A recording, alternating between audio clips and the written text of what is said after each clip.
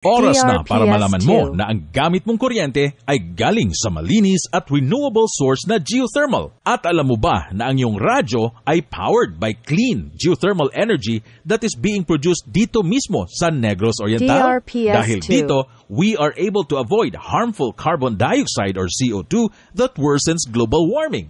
The more renewable energy that we use like geothermal, the more we save the environment. Ang galing, di ba?